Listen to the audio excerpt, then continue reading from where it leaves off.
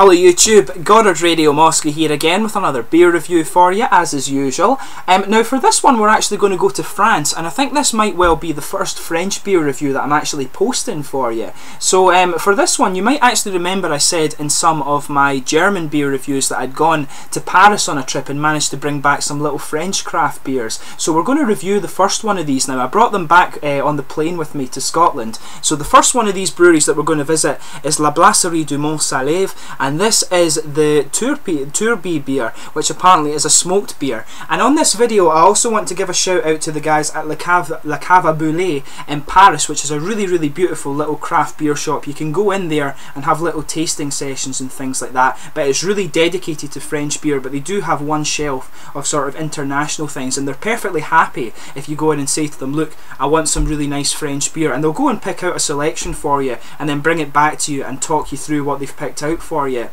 a really really awesome little craft beer place. So if you're in Paris in France go and check them out. And the guys speak very very good English as well. And obviously it's a bit of a novelty because in the English speaking world if you like we don't get so much in the way of French craft beer. So definitely worth the visit if you do happen to be in the Paris part of France. And I've put their the, the website link in the video description there along with their Facebook page as well. So give them a like in all of this and definitely check them out like I say. But as is usual with my beer reviews I'll take you through a brief history of the brewery. Very very short for this one I'll point out. But as always, if you are simply just interested in the tasting of this beer, feel free to go on towards the second part of the video where you will catch that. And as always, the brewery website is in the video description as well. So just to take you through the history of this brewery here, very very short like I say, the brewery was founded by Mikhail Novo in the summer of 2010 at the foot of the Salève mountain in the Haute Savoie region of the, in the Geneva countryside. And apparently this brewery actually overlooks Lake Geneva and the nearest village is called Neydens and it's actually if you look at where it is on the map it's actually very very close to the city of Geneva itself. And it's sort of kind of northeastish of Lyon just roughly so you're getting an idea right on the, the French-Switzerland border actually actually. But the brewery apparently has an annual capacity of 30,000 litres of beer, so very, very small, and it's grown quite significantly and developed a very good reputation through French craft beer circles, if you like. And they're easily recognisable by this kind of label here, the sort of classic French-Belgian sort of advertising portrait style. I think it's very, very cool, in fact, that they've chosen that.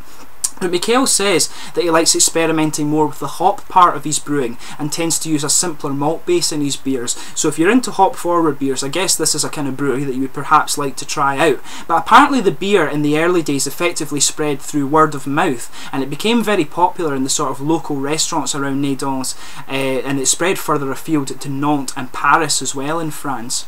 But apparently Mikhail refused to actually export his beer over to the USA. He was given an offer to do this, but he turned it down due to concerns about his brewing volume and things like that. But hopefully in the future, he'll, uh, he'll, he'll look at that decision again and hopefully we might get some of these over in Scotland and indeed the wider English speaking world as well.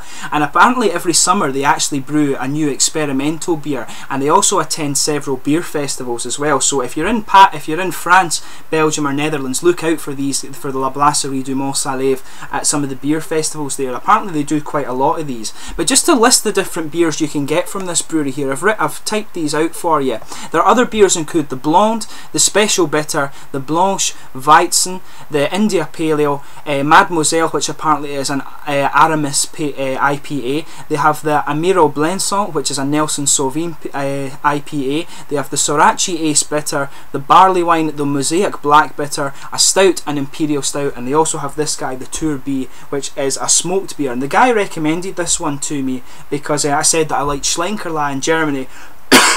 Pardon me and of course that's a very very famous smoked beer. So um, this was one that they recommended to me for that which was very very good. So I'm looking forward to trying this one for you here and we'll get on with the tasting. Now I'll bring up the camera and let you have a little look at the, the classic sort of label art on this one. This guy is a 5.5% smoked beer and I'll just bring the camera up just now so you can see as I mentioned it's sort of presented in this kind of uh, sort of chic kind of classic French advertising style. You can see the woman there. I don't know if she's putting on her makeup or exactly what she's doing, but you can see the sort of ski resort thing in the background must be a reference to their kind of closeness to the Alps and stuff like that down in, uh, in Neydens as well. So without further ado, let's get this guy open and get on with the tasting here. The bottle cap on this one, of course, is plain. I'll just point that out to you there. But let's get this guy open and we'll get on with the tasting. Like I mentioned, it's a 5.5% smoked beer. So I'm looking forward to trying this one.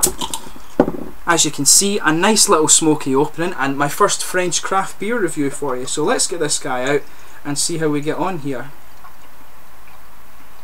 Very, very dark colour actually. Sugar up the last little bit in case there's any sediment there. So yeah, that's everything out as far as I can see. So I'll just set this back down for you. You can see, I can see just how dark this was, looking at how much light is coming through the glass there. Looks very, very nice. You can see there's a nice sort of just thin foamy layer. It's a kind of tan colour of foamy layer there. Didn't get much of a head on it, but not the most important thing, of course. It smells. You can get that typical sort of porter smell from this guy. It's meant to be a smoked beer rather than a porter, but um, it smells really, really nice actually. I'll just sugar it up for you and just see. You can smell it's got quite a it's definitely got a very kind of roasted and sweet smell to it actually. It's quite peaty actually. It reminds me a lot it reminds me a lot of some whiskies that you smell but obviously it's not quite got the sort of alcohol burn on the, the aroma if you like.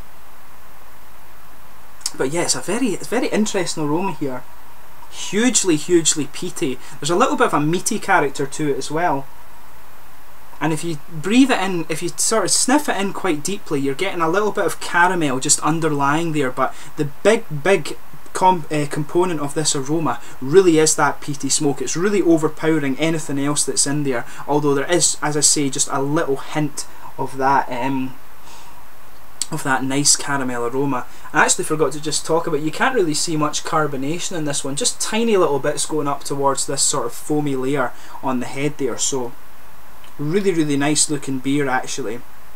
And it smells, it smells really nice. I've never smelt a beer that smells quite like this. So take a little bit of time if you do happen to try this guy and just uh, see what you think of it obviously. So let's give it a taste and see how we get on.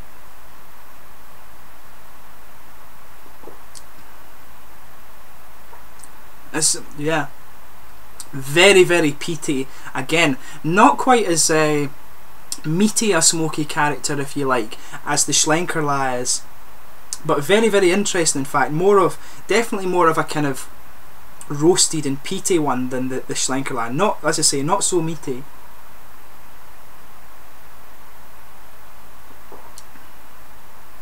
But yeah very very smoky very kind of peaty taste to it like I'm saying. You've got just a little hint of caramel sweetness there it comes in very quickly but it disappears and it really is just that smoky character that is kind of lingering on the tongue there. Very very nice actually.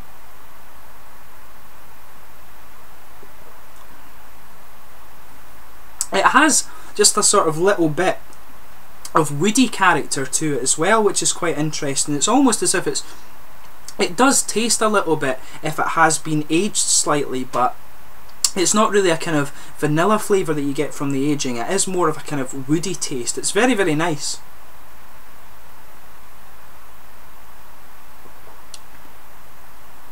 Yeah. Very, very nice. It's a it's quite in this case of this beer, it's not a very complex flavour but it does it very very well. It tastes really good and that's the main thing. There's not too many components contributing to this one but it's very very well done. They've got what they were going for. Very very good in my opinion.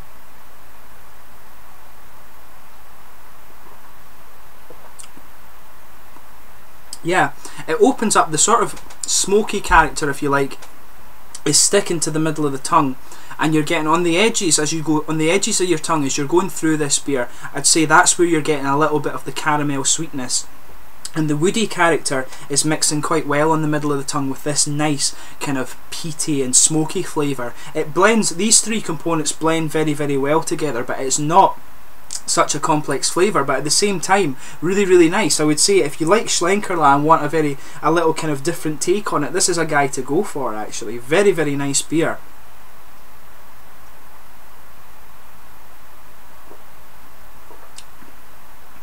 So in terms of the body with this one, I would say it's quite light bodied actually. It's a lot lighter than the Schlenkerla beer. It's um, it's got the normal amount of carbonation. It's got just a tiny little prickle there, but otherwise the mouthfeel is very very smooth. slightly oily I would say it's got quite a wet mouth feel it perhaps could do with being just a little bit thicker but I think it does it very well and it wouldn't you know to make the beer a little bit thicker might have a detrimental effect on the the flavour, and that's the most important thing. Obviously, they've got the flavour right, um, and I would say there's maybe just even a little hint of a creamy texture to this one, but they've got everything right with this beer, in my opinion. It's very very nice, I would say.